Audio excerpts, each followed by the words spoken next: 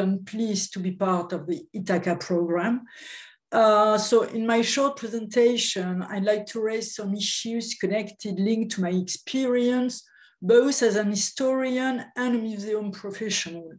Uh, it's going to be very general remarks and sometimes quite close to uh, Peter Gatrell remarks. So, uh, so to begin with, I would like to uh, make a short introduction to Museum of Migration.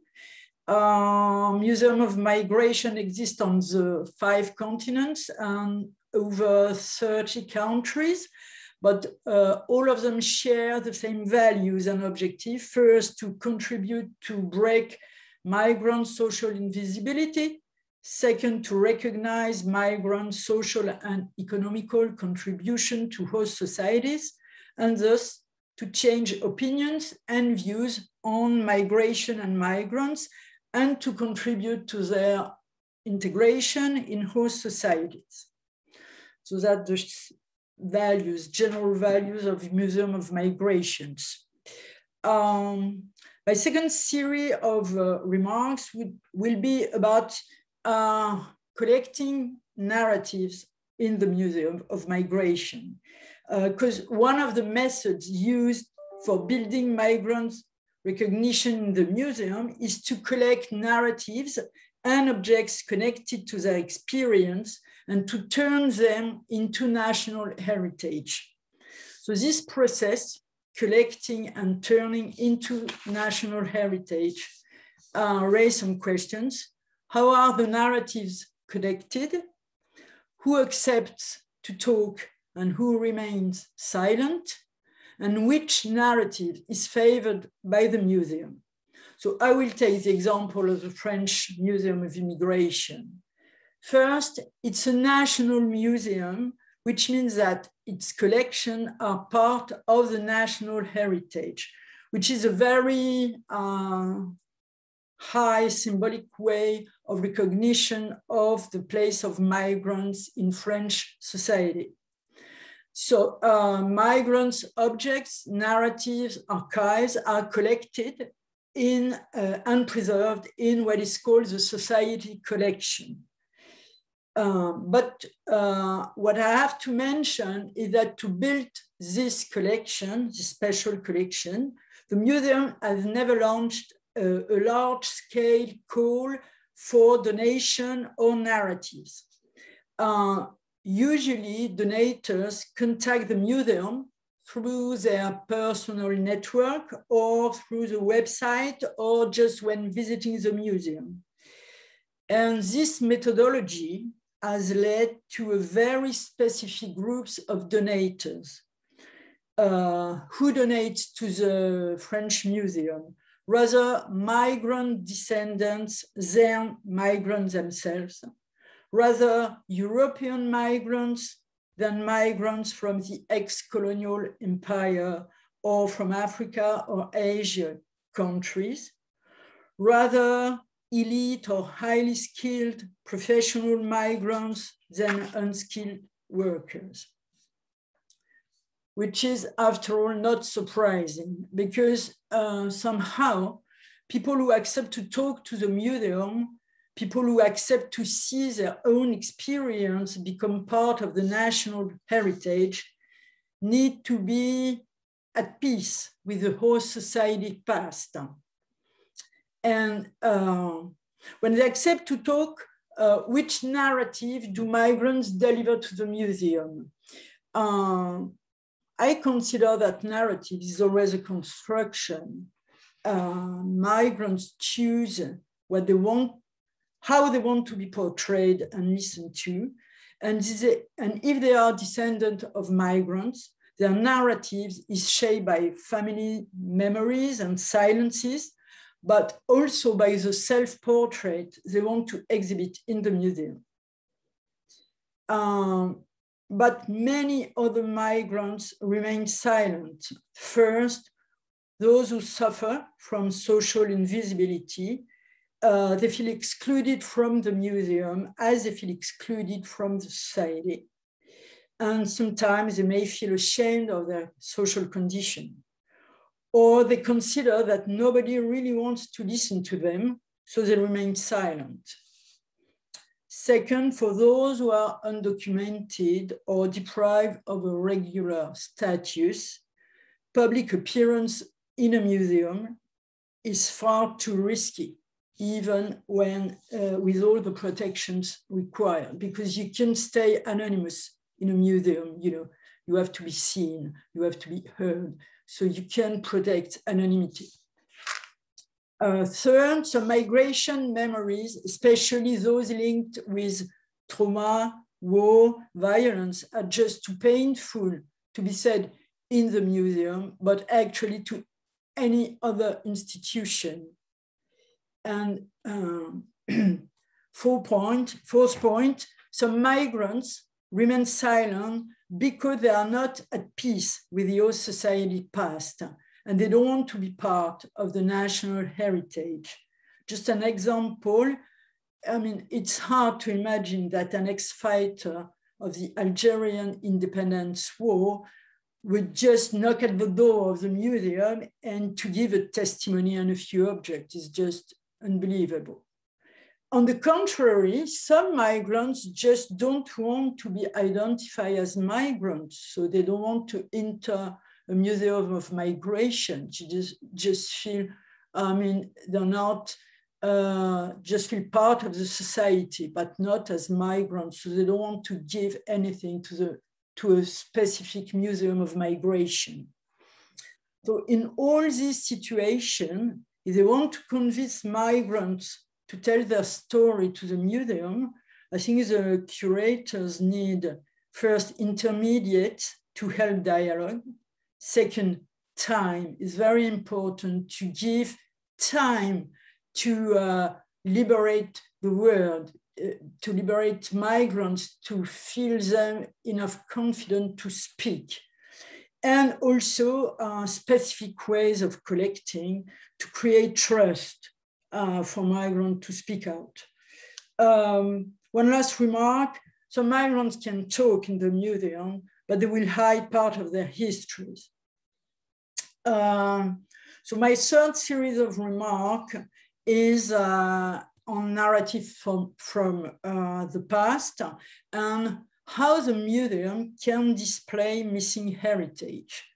Because uh, whatever the museum now wants to read or hear today, the museum had, has to cope with unheard voices in the past, unseen faces, missing heritage, lost object.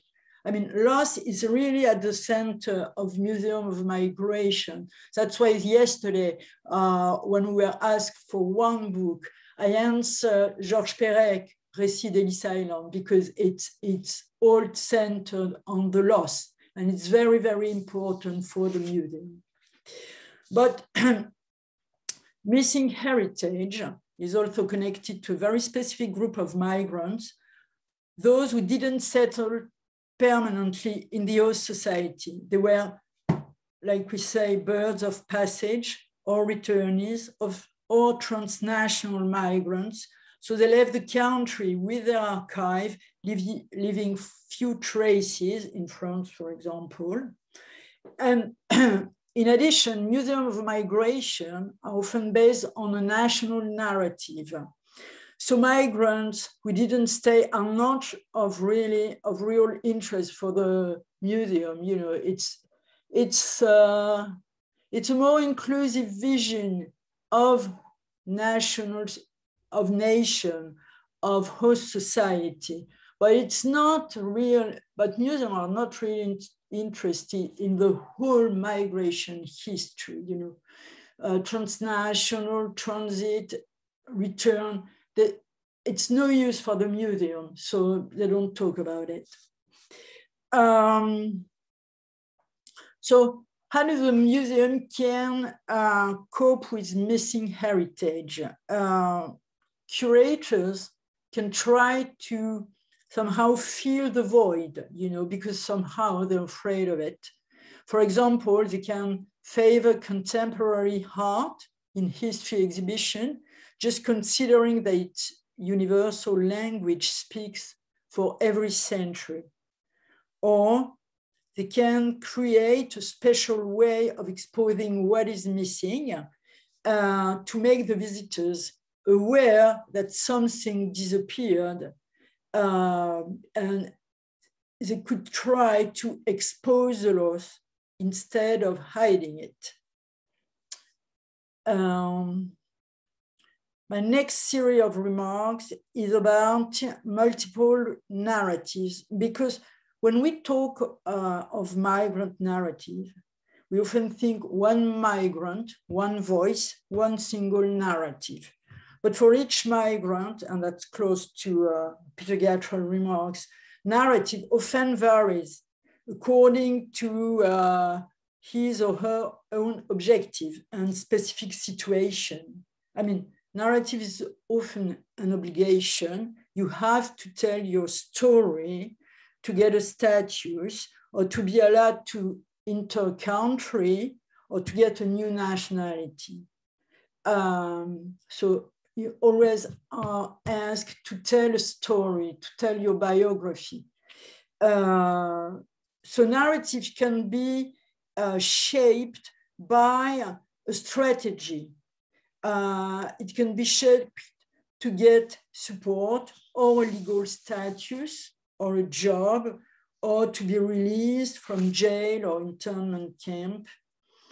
Um, don't forget that sometimes narratives can be bought or written by intermediate who knows the rules of your society. And if the rule changes, narrative changes.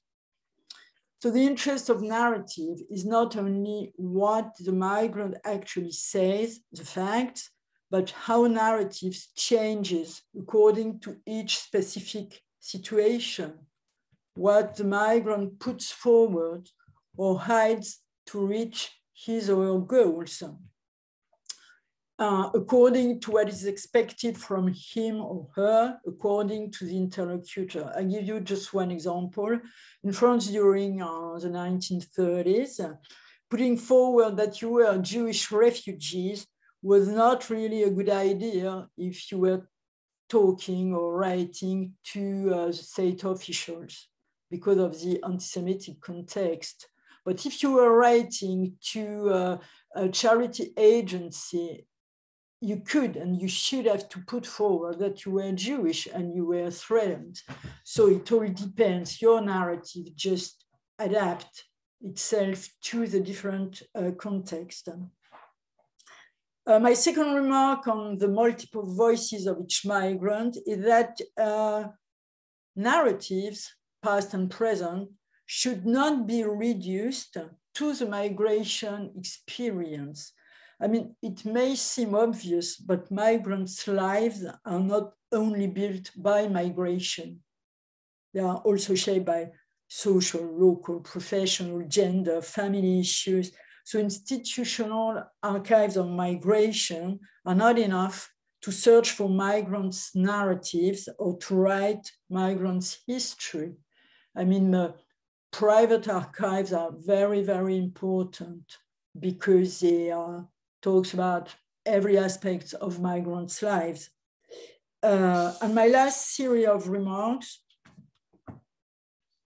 Um, very last, Marianne. Yeah, Sorry. very last. Time is running. Thank yeah, you. Sorry. It's uh, on the museum uh, narrative, uh, museum narrative. So, uh, how do curators write museum narrative on migration, and how does it change the way public opinion look at migrants and migration? Um, very quickly, uh, museal narrative can be written from different points of view or from a mix of them. It can display migrants' ordinary lives with a family, a job, a house. Uh, it can depict daily interactions with non-migrant population. And thus visitors can recognize themselves in the museum narrative. Or the museum can use heroism as an argument for migrant uh, recognition. Uh, museum can portray migrants as victims, calling for compassion. Uh, so generally it's a mix of them, but uh, it's very rare to have ordinary life. You know, it's always between uh, compassion and heroism. Um, so the last point is uh, somehow, whatever the museum chooses, uh, putting migrants' narrative on display does not guarantee that, migra that migrants will actually be socially seen. So I will uh, conclude with uh, Ralph Ellison's Invisible Man novels. And uh, the narrator explains, I'm an invisible man. I'm invisible on the stand simply because people refuse to see me. So you can have exhibition or museum of migration, but it's just a first step. You know, that's it.